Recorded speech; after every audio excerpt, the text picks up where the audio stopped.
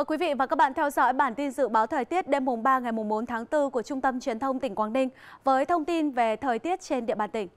Thưa quý vị và các bạn, so với ngày hôm nay, thời tiết ngày mai chưa có biến đổi gì đáng kể. Trời phổ biến nắng từ sớm và không có mưa, nhiệt độ cũng tương tự như ngày hôm nay. Cụ thể ngày mai, nền nhiệt độ cao nhất ở miền Đông, miền Tây và thành phố Hạ Long giữ ở mức 31 độ, cảm giác oi nóng. Còn về đêm và sáng sớm tiết trời mát mẻ hơn, lúc này nhiệt độ ghi nhận ở ngưỡng 25-26 độ. Vùng biển ngoài khơi và huyện đảo Cô Tô mây thay đổi, đêm không mưa, ngày trời nắng, gió đông nam cấp 3, cấp 4, sóng cấp 2, cấp 3, tầm nhìn xa 10 km, mức nhiệt độ giao động trong khoảng từ 25 đến 30 độ. Vừa rồi là dự báo thời tiết các khu vực trên địa bàn tỉnh Quảng Ninh. Còn bây giờ chuyển sang dự báo thời tiết các vùng miền trên cả nước. Nắng nóng thực sự chỉ xảy ra tại các tỉnh phía Tây của Bắc Bộ như Lai Châu, Sơn La, Hòa Bình và cục bộ ở vùng núi phía Bắc. Còn lại hầu khắp các tỉnh thành thuộc Trung Du, Đồng bằng và ven biển của Bắc Bộ là kiểu thời tiết oi nóng với nhiệt độ trưa chiều giao động trong khoảng từ 32 đến 34 độ. Ờ, và dự báo là trong đêm nay và ngày mai, nền nhiệt độ tại khu vực Bắc Bộ xu hướng giảm nhẹ. Cụ thể tại các tỉnh phía Tây, cường độ nóng giảm hơn, mức nhiệt độ cao nhất ngày mai giao động trong khoảng từ 35 đến 37 độ.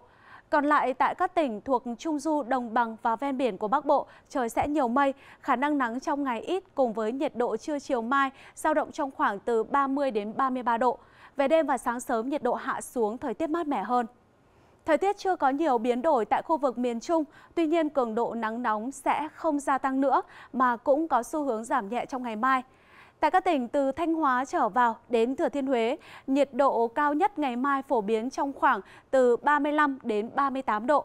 Còn lại từ Đà Nẵng đến Bình Thuận, nhiệt độ trưa chiều giao động trong khoảng từ 33 đến 35 độ. Khu vực Tây Nguyên và Nam Bộ ngày mai trời có nắng từ sớm, kéo dài đến chiều nên nhiệt độ cao nhất trong ngày mai giữ ở mức từ 34 đến 36 độ trên toàn vùng. Nắng nóng diện rộng tiếp tục duy trì tại nhiều tỉnh thành thuộc Tây Nguyên và Nam Bộ. Tuy nhiên về chiều tối cục bộ tại vùng cao nguyên như Đắk Lắk, Đắk Nông, Lâm Đồng và một số nơi ven biển của Nam Bộ vẫn cần cảnh giác với mưa rào và rông xuất hiện bất chợt. Trong đêm nay và ngày mai, nơi có cường độ gió mạnh nhất vẫn là vùng biển Vịnh Bắc Bộ. Tại đây, gió có hướng Nam ở mức cấp 5, có lúc cấp 6, gây sóng cao, biển động và tiếp tục gây trở ngại đến các hoạt động lưu thông của tàu thuyền. Khu vực Bắc và giữa Biển Đông, trong đó có vùng biển của huyện đảo Hoàng Sa, gió hướng Đông Nam đến Nam cấp 4. Phía Nam Biển Đông, bao gồm vùng biển huyện đảo Trường Sa, phổ biến có gió nhẹ nên tình trạng biển bình thường và thuận lợi cho các hoạt động hàng hải.